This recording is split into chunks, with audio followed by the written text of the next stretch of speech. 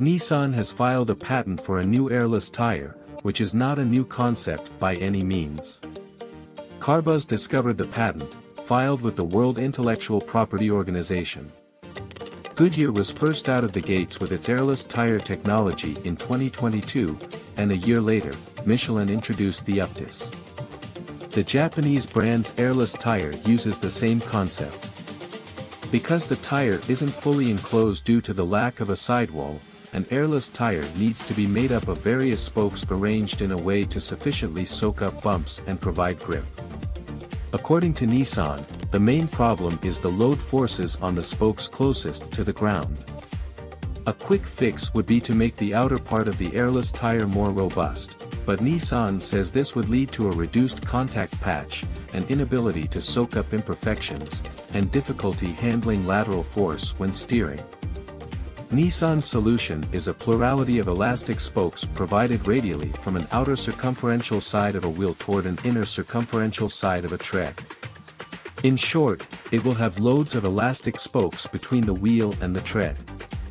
For the record, Ford has already started developing wheels for airless tires. This way, the load acting on the tire is transferred to the spokes, which means the exterior tread takes less of a beating. According to Nissan, these tires can be applied to four-wheeled vehicles, two-wheeled vehicles, industrial vehicles, bicycles, and a host of other stuff that need tires. Why are so many high-profile manufacturers suddenly interested in airless tires when the existing solution we have is so perfect?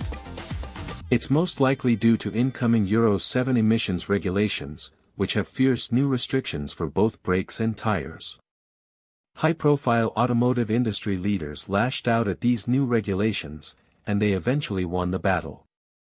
Still, no changes were made to the restrictions that aim to regulate the particulate emissions from brakes and tires. We're not sure whether an airless tire would be more environmentally friendly, but there are some cool upsides. Airless tires don't get punctured and aren't as easily damaged.